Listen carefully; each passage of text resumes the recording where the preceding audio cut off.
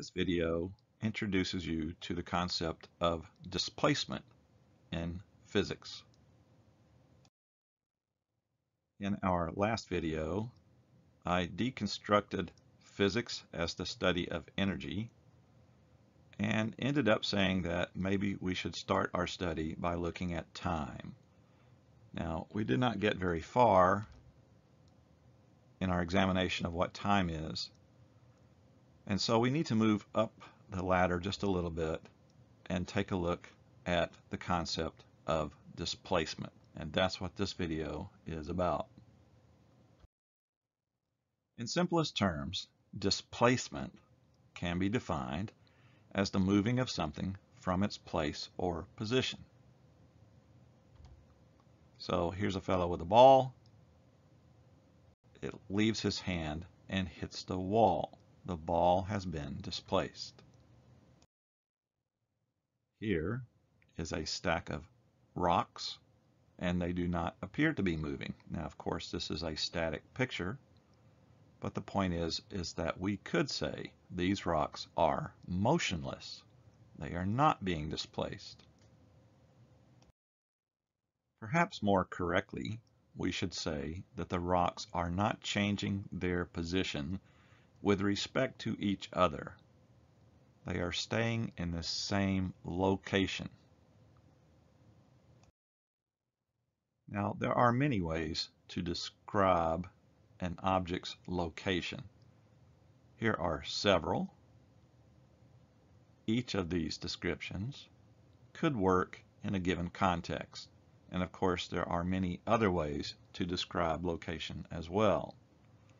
What we need to do is figure out a way to describe location in such a way that we can quantify displacements, movements, and other variables that are associated with motion. So we need to look at how to use numbers and maybe graphs to describe location or position. By using numbers and graphs, we can describe positions with precision and consistency, and we can agree with each other about what we are measuring and what our measurements mean. Consider this simple number line. I can draw a stick figure above the line and I think you would agree with me that the figure is at the position labeled 3. We will know if the stick figure moves if it changes its position on the number line. Just a little terminology. We designate the zero point as the origin on our number line. And in the United States, we typically agree that positive numbers are written on the right of the origin, whereas negative numbers are on the left of the origin. You may never have given that much consideration, but the direction is completely arbitrary. We have to agree on it. So positive on the right, negative on the left, of the zero or the origin point. Now watch the figure on the number line. It's starting out at position 3, but now it appears to be moving across the screen. And it ends up at position 8. We can define the figure's displacement as plus 5 units along this number line. It ended up at 8. It started out at 3. 8 minus 3 is 5 units with respect to the original position difference. That is its displacement. That might seem rather trivial, but watch again. Now the stick figure appears to be going backwards. Goes to the minus 2 mark, and it's headed back toward the right, toward the positive numbers, and ends up at the 8 mark again. Now what is the figure's displacement? Well, its displacement is plus 5 units with respect to his original position.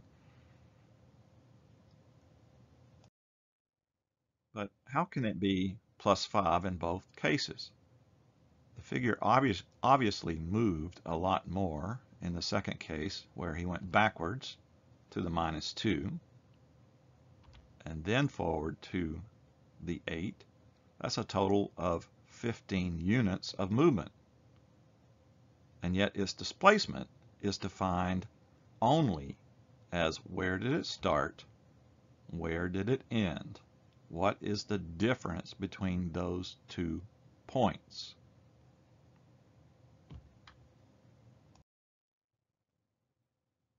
So the figure moved backwards and forward a certain distance, but its displacement is measured in a slightly different way. It's a fine distinction, but we will use the term distance to mean how far something actually travels. This includes any twists, turns, forward, backward, up, down motions. Displacement is a special term that means the straight line difference between starting and final positions, regardless of how it traveled to get there. The term displacement has at least one other feature that distinguishes it from distance. Displacement includes a direction relative to the origin, or at least the starting point. So in the uh, picture, you can see that one figure is five units over toward the red negative numbers. The other figure is five units toward the end of the blue positive numbers. Both of them have a displacement of five, but displacement means also a direction. So you have to say minus five or plus 5 with regards to the original position of the figure. So in our original two illustrations, the stick figure is plus 5 units further from the origin towards the right or towards the positive or if we looked at the screen as having north, south, east, west, it would be toward the east or toward the blue side. How you designate it isn't necessarily important as long as you are clear. You have to have both a number and a direction in order to give a proper displacement.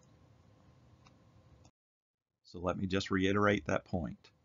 To properly state a displacement, you must specify the direction of final or current position with respect to the previous position. It can be up, down, left, right, positive, negative, one of the cardinal compass directions, or even a given angle on a compass. Some way has to be designated. In this class, we will most often use positive and negative. And for example, if we throw something up and then it comes back down, we are going to have to agree, is going up positive or is going up negative? We'll get to that in a later lesson, but there must be agreement so that we all understand what our displacement is. So the term displacement has a very particular meaning. And in the next few weeks, as we examine the motion of objects, quite often I will be referring to displacement, but sometimes I will slip up and I will say distance. It's a very picky point. And we're not going to worry about it too much, but I want you to be aware of this fine distinction. Displacement is a straight line from the start to finish that includes a direction. Distance, on the other hand, can include all sorts of motions, and you don't necessarily have to specify a direction.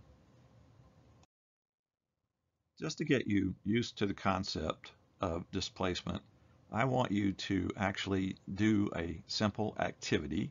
I will give more instructions in the Google Classroom on exactly what to do. But basically, I want you to go outside when it's safe to do so. I don't want you to go out in the dark or, um, you know, when it's raining or something.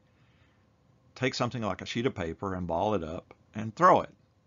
And then I want you to measure the displacement of the ball of paper.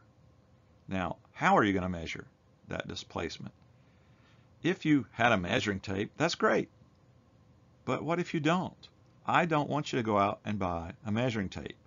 Instead, the point of this exercise is to try to figure out a non-standard unit of measurement that you can use when we do our flying objects uh, exercises in the next couple of weeks.